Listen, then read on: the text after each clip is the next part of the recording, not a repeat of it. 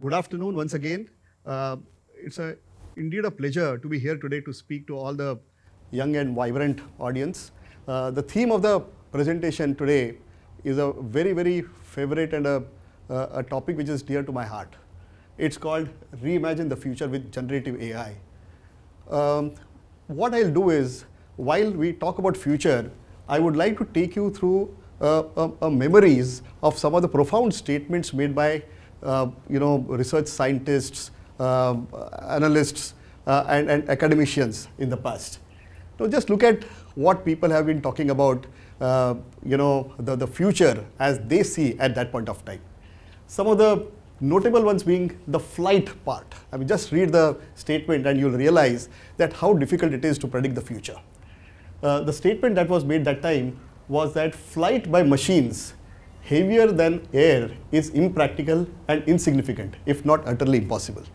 Now, what you can also see that this statement was made precisely 18 months before Wright brothers flew the first plane in Kitty Hawk, North Carolina. So just imagine that the prediction that was made in 1902 turned out to be uh, false in just about 18 months. Moving on to the technology predictions that were made in the past, you can see that there are three very, very impactful uh, predictions that have not come to be true. The first one being uh, Thomas Watson's statement that I think there is a world market for maybe five computers. Just imagine, uh, IBM leader is talking about the demand for computers being just about five globally. The second one being Dr. Homi Bhabha, where he said a big country like India I think there would be a legitimate case for having two computing centers and getting two computes.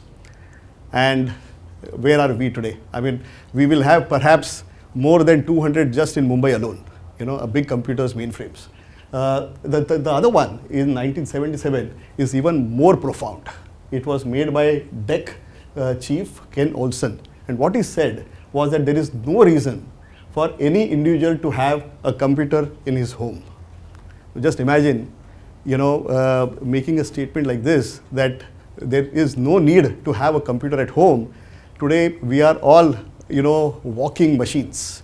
You know, we have everything. Just look at me. You know, I have got so many gadgets on me right now uh, that that the you know every one of us is carrying a cell phone, which is nothing less than a computer.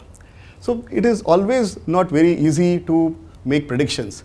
But one prediction that I can make very very strongly, which cannot go wrong, and that is that the generative uh, AI is going to disrupt the world like never before.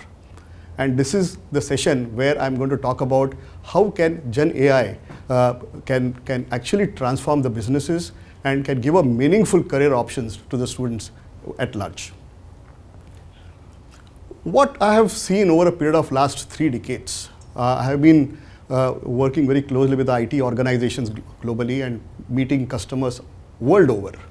You know, in, in early 80s, 90s, the conversation we used to have with the, with the customers used to be, you know, what do they need? What kind of skills they want? And we used to always offer skills in multiple different technology areas, maybe mainframe technologies, maybe uh, Oracle, maybe SAP technologies. Over a period of time, the demand from the customers changed. They said, no, now we don't really require just, uh, you know, just a talent or a, or a, or a body what we really need is a definitively, uh, you know, outcome-based projects based on the specification that I give. So the customer needs to define the problem statement and they used to share it with us. And they used to say, this is my problem, please help me solve this problem by developing computer applications. And we used to do that. And that was basically getting into the more like managed services mode. The world moved on, the customers moved on.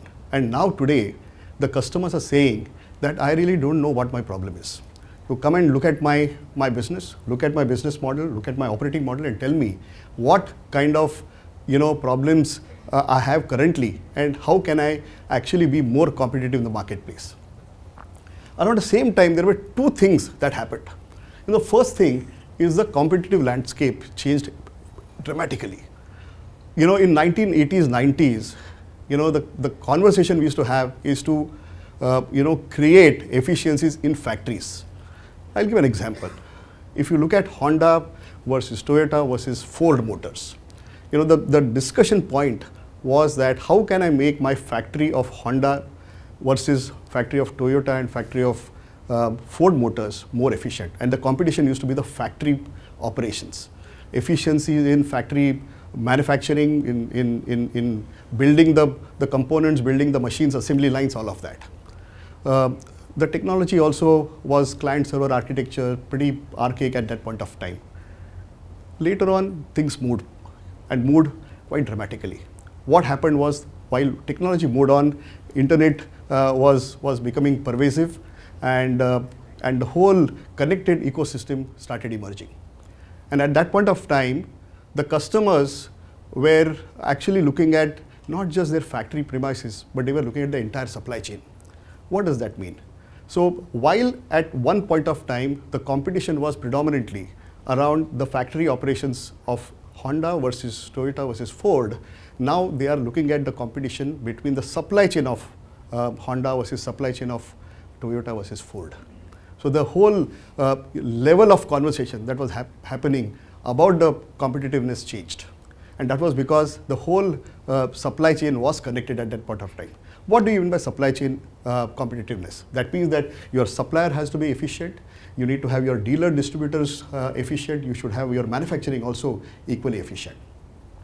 The world moved on. Then we started looking at you know, IoT, Industry 4.0, and we that entire connected ecosystem. And at that point of time, what happened was the whole competitive landscape changed from supply chain competitiveness to ecosystem competitiveness. What does that mean? That means that now the, the, the whole conversation, whole environment within which these companies used to operate completely changed and their efficiencies were measured based on ecosystem efficiencies. What does ecosystem mean? Ecosystem of Honda versus ecosystem of Toyota and Ford means that not just the supply chain, but also the way they were generating finance, also the way they were marketing their, their equipments or their, their end products. How were they, uh, you know, designing the automobiles, you know, that was getting, you know, manufactured in their plants. So the entire uh, ecosystem competitiveness actually uh, was, was becoming extremely prevalent and that's the way the transition happened over a period of last maybe three or four decades. The technology, as I was mentioning, also moved on. Today, the whole conversation is about big data, you know, uh, robotic process automation, AI, ML, AR, VR. So the whole technology landscape also has, has undergone a massive, massive change. This is a simple example, and this is an example of, uh, you know, equipment maintenance. You know, I, I, I know of a, of a company for which we are, we are providing services for several years now. This is a global elevator manufacturing company. And uh, the, the kind of service level agreements that they need to have is completely different and absolutely futuristic. Now, what does that mean? Uh, the, the, the vision of this elevator manufacturing company is that in case uh, there is an elevator uh, in, in Beijing which is servicing 140 story building and there are multiple elevators there and if, if that elevator gets stuck, let's say on the 83rd platform, uh, 83rd floor, the control room in, in Australia will actually get the alert much before the, the, the consumers of that building realize that there is an elevator which is not working. So that's the kind of a you know competitiveness people want. If suppose somebody is giving me a service like this, where I don't even know that elevator in my building actually malfunctioning, but the uh, you know, the, the, the, manufacturer of the equipment is actually telling me that there is a problem. Here is a field service uh, technician who is on his way and he should get the elevator fixed in the next 60 minutes. Just imagine the level of service people are, uh, you know, expecting nowadays. And that's precisely what is, you know, being shown in this particular slide. So here is what uh, going to transform and disrupt the world altogether. While all of us are looking at, you know, AI, ML, AR, VR, I think what is going to disrupt the world today is going to be generative AI. Now I'll give a, a little bit of introduction about what Gen AI is and how it can be relevant uh, to the students at large. You know, how can they make careers using Gen AI? What kind of opportunities they have? Uh, you know, especially in the technology area. So those are the, uh, you know, points that are extremely relevant to uh, the audience out here right now. But one thing, you know, is, is definitive that generative AI is here to stay. It is going to disrupt the world. already there are indicators and the data points which I will be covering, which will give you a, an idea that how dramatic are the results from, from GenAI. This is a, a, a quick slide. It's a little busy slide, but it gives you a, you know, some kind of an idea of how dramatic is going to be GenAI and the impact of GenAI on the businesses.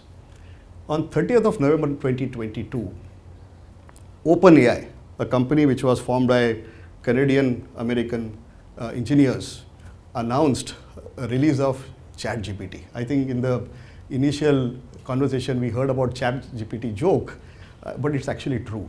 You know, so they announced a text-based generative AI uh, application, and the world was taken by a storm. And and just to give an example, within two months of the launch of uh, ChatGPT, the, the number of users of generative AI increased from zero to $100 million, 100 million users. Now that's a dramatic increase. Uh, we started with practically nothing on 30th of November, and here we are on, uh, on, the, uh, on the 30th of Jan, where you have number of users amounting to almost like 100 million uh, numbers globally. Now, uh, in two months, 100 million, just a comparative numbers, Facebook took four and a half years uh, to reach that 100 uh, million mark. Do you know how much time it took for telephones to cover 100 million? It took 75 years. For the vehicles, it took 35 years. So the, the, the number of adopters of Gen AI was so dramatic that within two months, we saw uh, an uptake of almost like 100 million users worldwide. One more important, uh, you know, data point here. Within three months of uh, Jan 2023, we saw five large companies announcing their own LLMs. Now, what is LLM? LLM is a large language model, which is basically a logical integration of uh, a neural network, you know, a logical points, which is connected so that the data which is residing in, in, in source uh, systems can be interpreted in a meaningful manner and you can generate something of value. And that LLMs were created. We all have heard of a, uh, of a platform called LaMDA.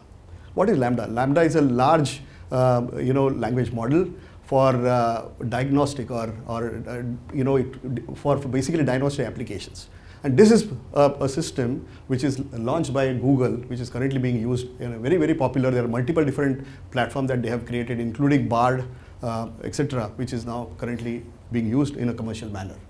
So there, you can imagine the, the rapidity and the acceleration that we have seen in the market uh, from practically nothing on 30th of November 2022 to a dramatic increase to almost like uh, you know 100 million users in, in just about two months. And today I think the there are some data points which will make you uh, really wonder as to how how rapid is the is the growth of AI. But just a, a quick snapshot of what what is AI. So Gen AI basically is uh, you know a technique that learn from data and use it to generate completely new uh, you know artifacts maybe it is image maybe text maybe uh, some kind of an object which is of value uh, to the customers and, and it is much different from AI. I am aware that most of you would, would have worked on some kind of AI engines, but Gen AI is actually a next generation of uh, you know application set that will actually create value, not just interpret the value.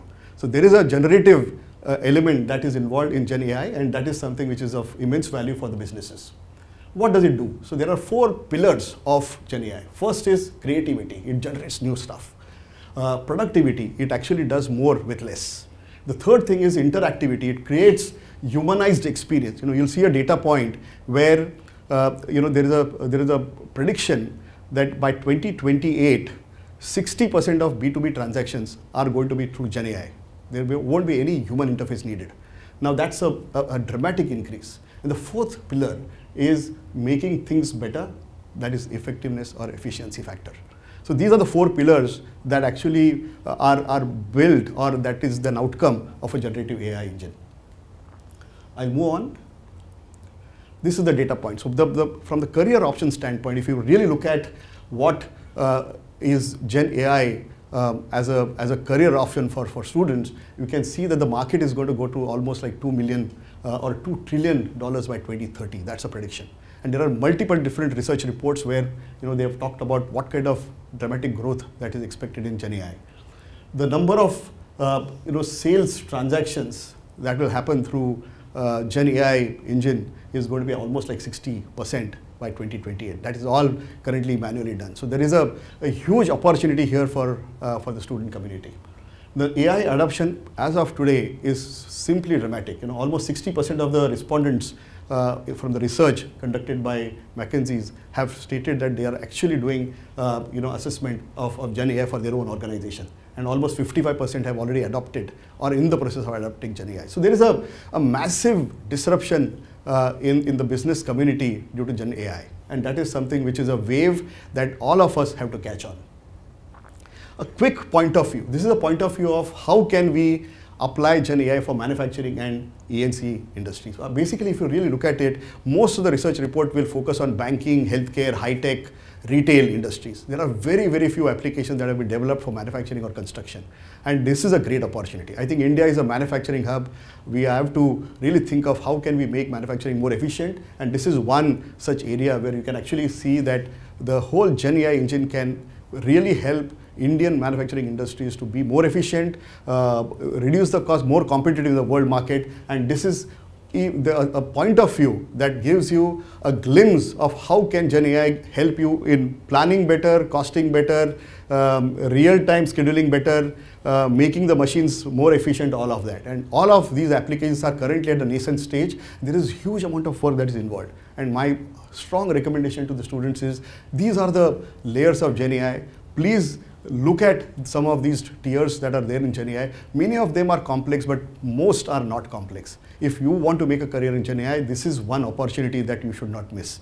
And there are multiple layers. Cloud operations itself is a huge opportunity. Uh, observability, which is like uh, monitoring, you know, observing the performance is another one. Vector databases, foundation model, there's so many things that are there. I think all these are tremendous opportunities for the students at large. And finally, this is a slide which will give you how do you really build your career and a talent and a skill in Gen AI. Um, as you can see here, the you know the growth expected is 27% CAGR. 27% CAGR means that you will double your uh, your opportunities in three years. You know, and and that's a huge growth and uh, there are multiple different levels. You start defining your careers, understand AI, ML, Gen AI uh, courses, uh, look at some of the technology plays uh, like ML, Python, data sciences, um, understand the various different models like GANs, AEs, VAEs, NLPs, and these are pretty easy to understand. You know, you should make your career, use your common sense, have uh, the basic intellect in use for Gen AI development and I can tell you that if you also have the project management expertise, you can create a very, very meaningful uh, career which will be highly rewarding for most of you. That's about it. Thank you so much. Uh, good luck. All the very best.